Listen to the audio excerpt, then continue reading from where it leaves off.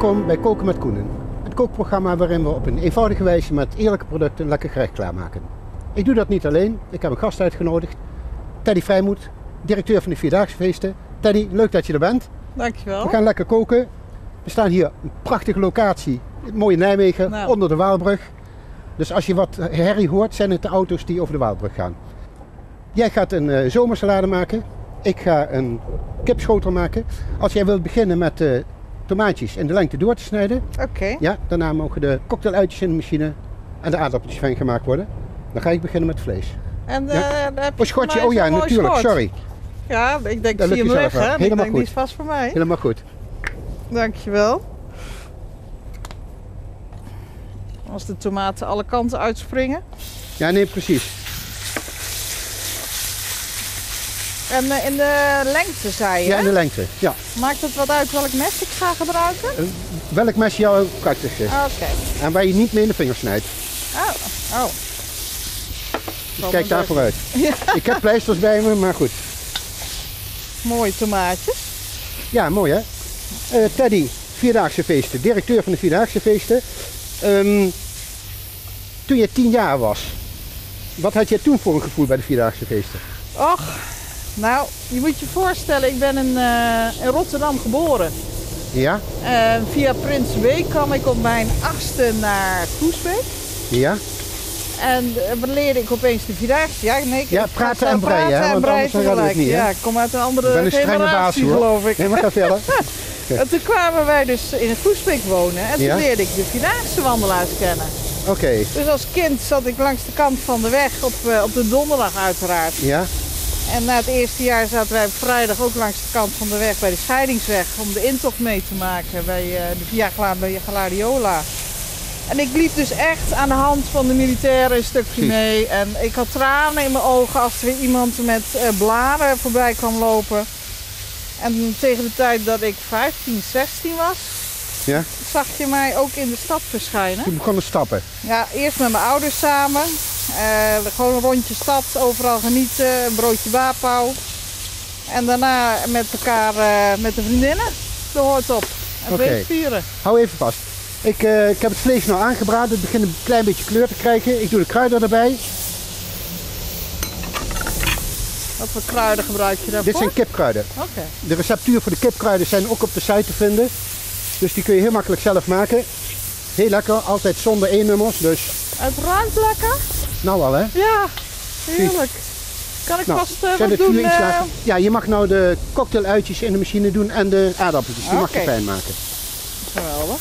Bij elkaar, hè? Eh, ja, ik doe altijd eerst de cocktailuitjes, want die verdelen zich dan beter. Oeh, we rollen er al doorheen. Kijk, maakt niet uit. Oké. Nou, ik pak gebroken champignons. Normaal snij je die in schijfjes. Maar als je ze breekt, ik heb al een deel voorgebroken. Als je ze breekt, dan krijg je toch een andere smaak. Dan zijn de champignons wat, wat voller van smaak. Volgens mij ga ik nou herrie maken. Maakt niet uit, dan Nee? hou ik gewoon mijn mond dicht. Oké. Misschien valt het mee. Oh, dat gaat razendsnel. Ja, maar je moet ook een hele hoop doen, hè? Ja, maar ik ga gewoon rustig door. Oké. Nou, de champignons die fruit ik mee tot ze een beetje kleur beginnen te krijgen. In de wok gaat dat heel snel natuurlijk. Dan gaat het ontbijtspek erbij. Je hoeft niet mee te schrijven, want het eh, recept kunt u vinden op Koken met Koenen. Ontbijtspek erbij, dan gaan de uitjes erbij. Goed Teddy, maar eh, nu hele organisatie, de Vierdaagse feesten. Ja, Daar ben je het hele jaar mee bezig? Of? ja nou ja, eh, ik heb uiteraard ook vakantie her en der. Dus Nee, je, als- hoort mij niet klagen, maar we zijn echt inderdaad, als de Vierdaagse feesten zijn afgelopen, begint de evaluatie Ja? voor het jaar erop alweer. En dan gaan we kijken eh, hè, of, of de voorwaarden goed zijn, of er wilde plannen zijn van mensen die het willen gaan organiseren, of er veranderingen nodig zijn.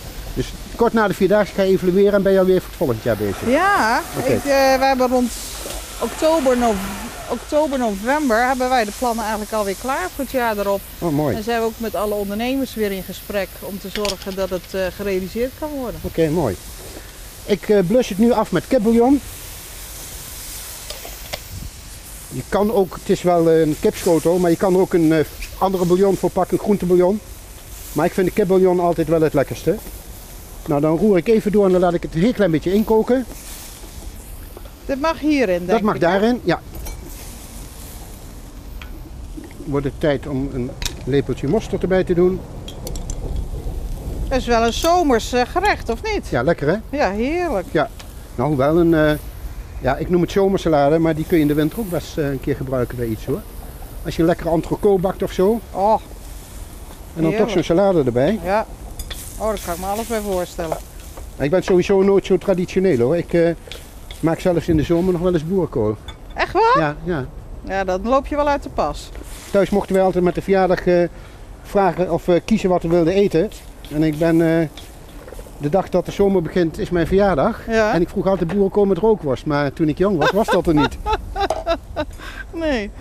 Dat is ook wel redelijk eigenzinnig, geloof ik. Of, eh, Dat weet ik niet. nee. Als Goed. het maar lekker is. En, en locaties, wat is er zo al te, te zien aan festiviteiten in Nijmegen? Wat is er al te doen? Nou, we hebben dit jaar echt ongelooflijk veel eh, nieuwe locaties en, en nieuwe programmering.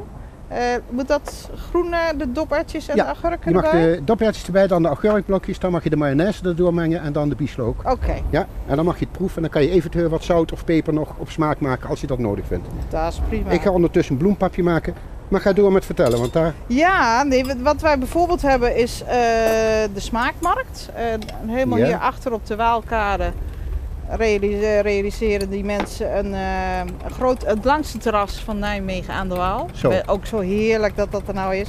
Met allemaal eten uit de regio. Die wordt allemaal klaargemaakt ter plekke.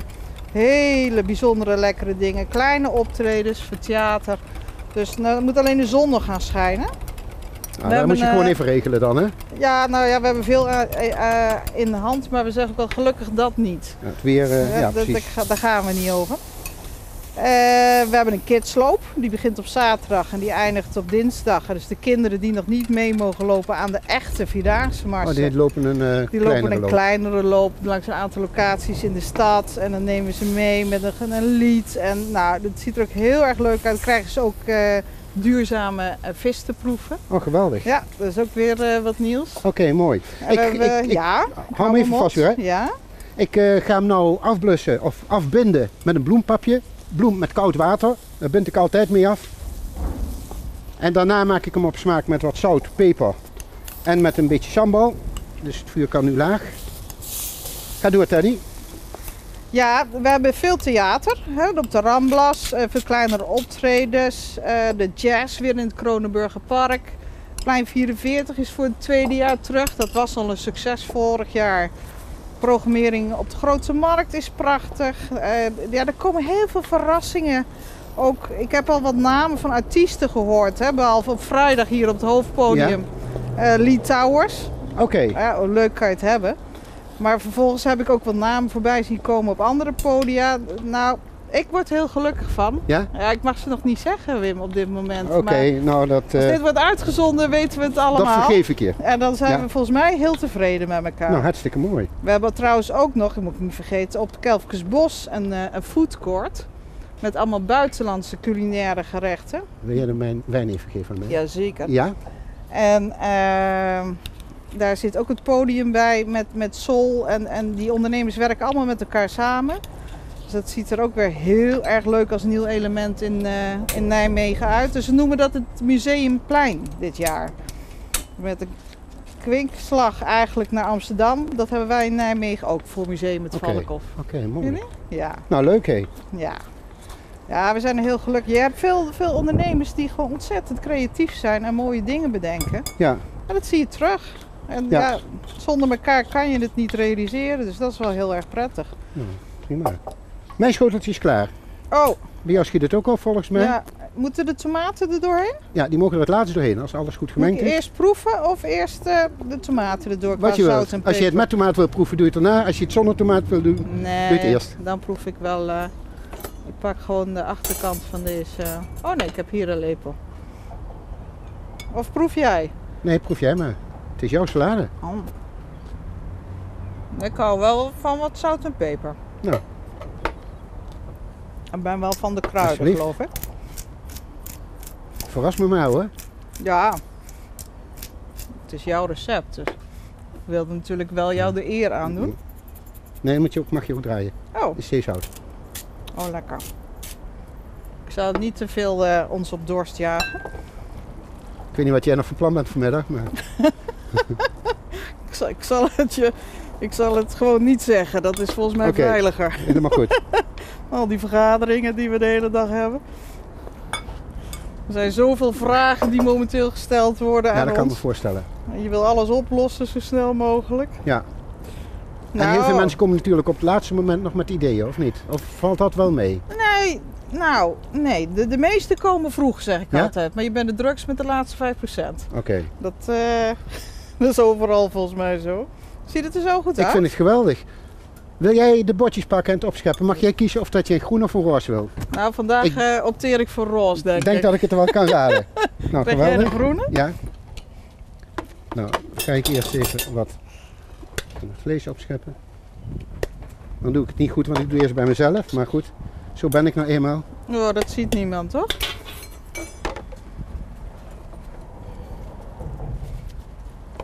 Kijk, en dan mag jij.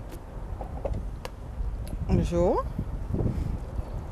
Een, echt een eh, complete maaltijd. Nou ja, wat jij wilt. Ja, nou ja. is jouw bordje. Het is voor mij voldoende. Meer dan Nou. voldoende. Wat tomaatjes erbij. Dankjewel, geweldig. Teddy, dan heb ik nog even een drankje voor jou. Oh, ik moest nog vergaderen. Bedankt. nou ja, dan doe je het vanavond of morgen. Heerlijk. Bedankt, dat was heel gezellig. Ik geef Ja. vast een handje Dankjewel. Ja? En dan gaan we lekker proeven. Even Heerlijk. kijken, mes en vork, daar kun jij beter bij. Ja. Lijkt nou dat ik je aan het werk zet, maar nou, doe, dat doe was, stiekem dat ook was wel hoor. een beetje de bedoeling, geloof ik, toch? Dankjewel. Even eroverheen. Leg ik hem even bij jou op het, eh, op het hakblok. Helemaal goed. Alsjeblieft. Dankjewel. Nou, smakelijk. Heerlijk, ik ben benieuwd. Mag ik met de lepel eten? Jawel, hè? Ja, Mm.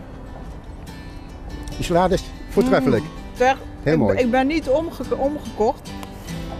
Maar dit smaakt echt voortreffelijk. Oké, dan geef ik het geld maar terug. Ja, heerlijk. Smakelijk hè. Lekker pittig ook, zonder dat het te heet is.